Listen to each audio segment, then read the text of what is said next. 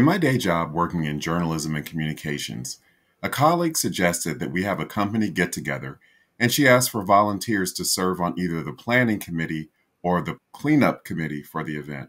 I jumped at the chance to serve on the cleanup committee, which would be the people who would clean up, throw away dishes, cups, etc.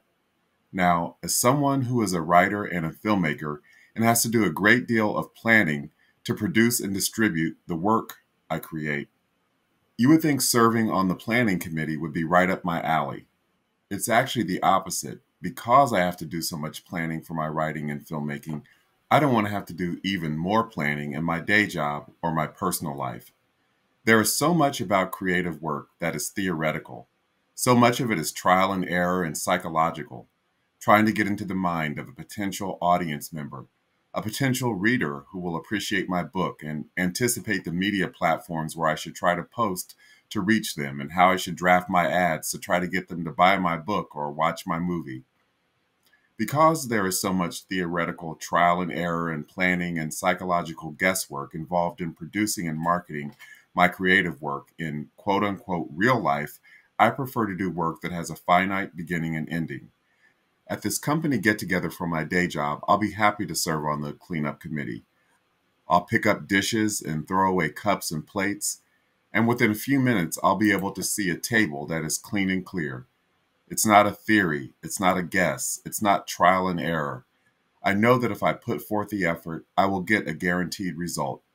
Something that can eliminate the guesswork out of creating art and trying to find an audience for it is using data to make decisions. Many of us creative people are sensitive artists, and we resist looking at data because oftentimes the data will hurt our feelings. For example, every day I look at social media metrics. I measure how many subscribers I have on YouTube, how many Facebook, Instagram, and Twitter slash X followers I have.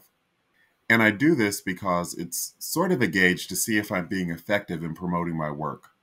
I know it's not the end all be all because social media metrics can be kind of fickle because people themselves can be fickle. But social media metrics are one tool to gauge whether I'm breaking through with my work and personal branding as an author and filmmaker. Now, don't get me wrong, I dread looking at this data, but there have been several instances in recent years where having this data, this daily log of social media metrics, really came in handy in situations where I had to make tough decisions.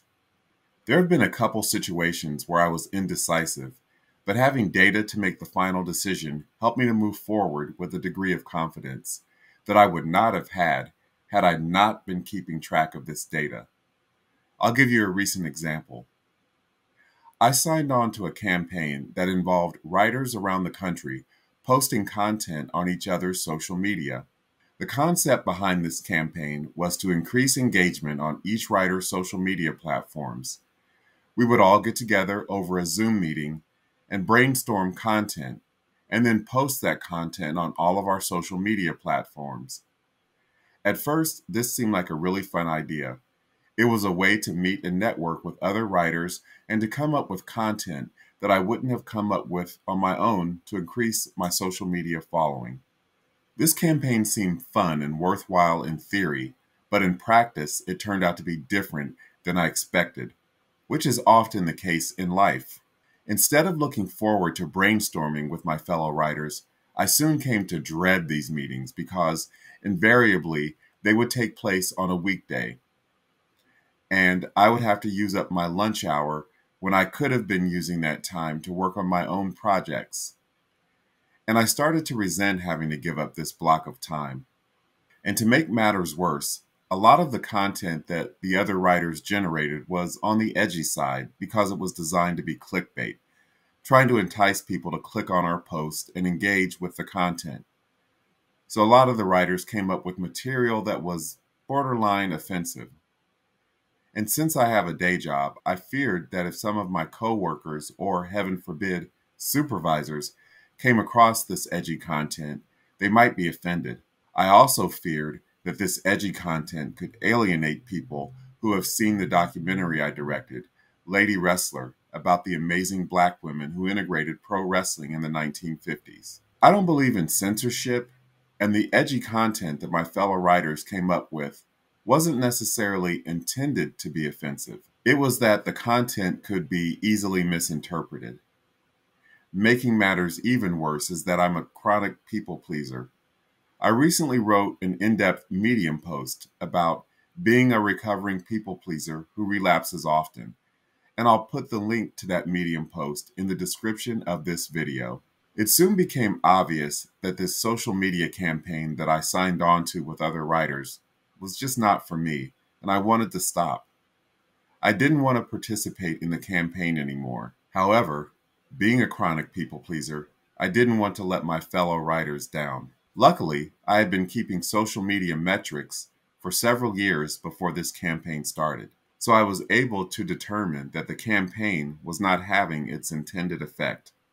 The campaign was not increasing my subscriber count or follower count on any of my social media platforms. In fact, a couple people unfollowed me during this social media campaign. I certainly can't directly attribute people unfollowing me during this campaign to the edgy content we were posting because people unfollow for a myriad of reasons or for no reason at all.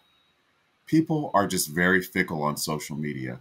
But rather than basing my decision to not participate in the campaign anymore on feelings, I had cold, hard data to back up my decision. So that made me feel less like I was letting down my fellow writers and more like I was simply making a business decision. Another example of a recent data driven decision that I made is that I was wondering if I should make a separate YouTube channel related to the Lady Wrestler documentary. Why did I consider splitting off the Lady Wrestler content into a separate channel? It's because on my main channel, the Chris Bournea channel, I post content related to writing, filmmaking, and pop culture commentary. This channel is geared toward people who are interested in those subjects.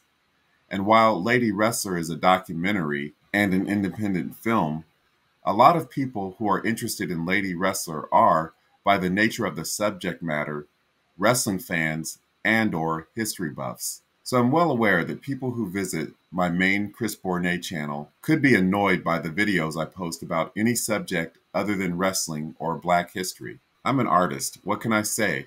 I can be wacky and offbeat and even downright silly. And while I try to be professional, my content, even though it's mainly focused around writing and filmmaking and pop culture, doesn't have one consistent theme. I'm also well aware that my channel will grow a lot faster and it would be a lot easier for me to get subscribers if I focused on a niche. But if I fell into a niche and narrowed my focus, I would not have done the Lady Wrestler documentary in the first place.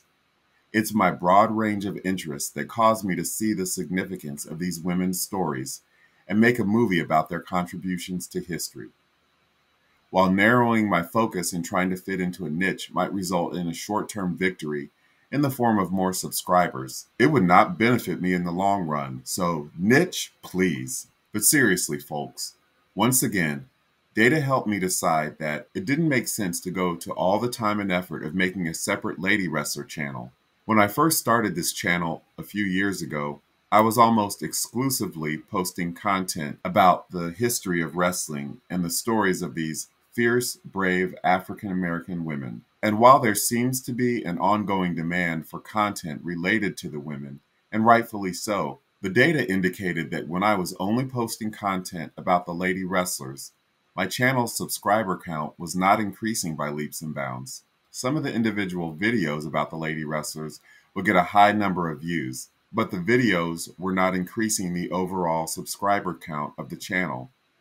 So, analyzing the data led me to believe that if I made a separate Lady Wrestler channel, certain videos might have a high number of views, but the channel itself wouldn't have a high subscriber count.